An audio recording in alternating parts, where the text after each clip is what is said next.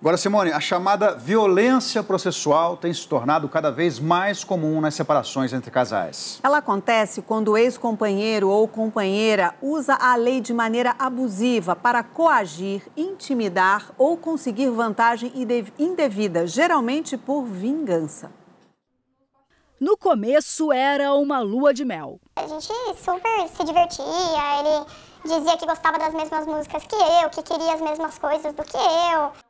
Aí começaram as traições e a violência psicológica. Começou a ter agressão verbal, gritos e falar coisas horríveis, de chamar de nojenta para baixo.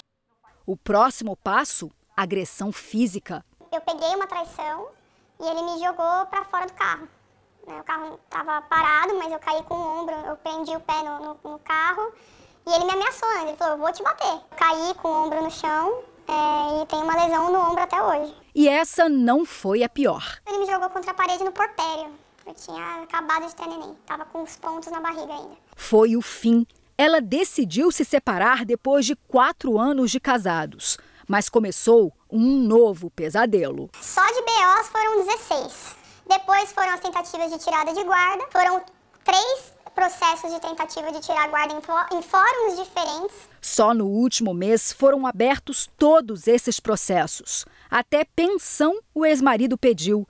Essa conduta tem nome: violência processual, como diz a advogada especialista em gênero. Eles querem fazer esse incidente, né, ou essa defesa nesse sentido, especialmente para fazer com que o processo traga danos emocionais e sofrimentos para aquela mulher. Então, não só é uma revanche, mas também é uma forma de tentar continuar o controle da vida daquela mulher e perpetuar aquela violência que, por vezes, ela já sofre dentro da relação.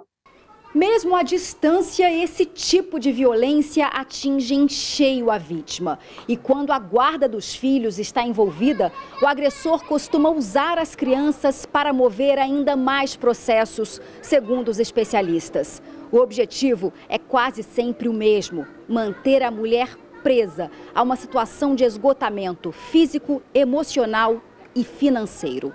Foram mais de 100 mil reais nos últimos dois anos.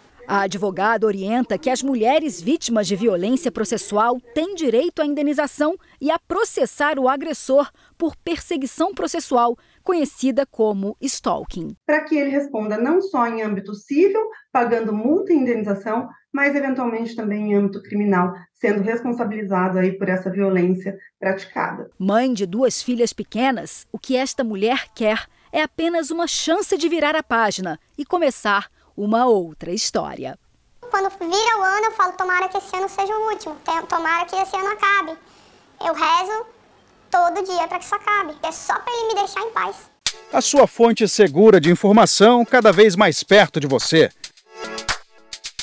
Baixe agora o aplicativo do SBT News. Selecione o que é mais importante e receba notícias personalizadas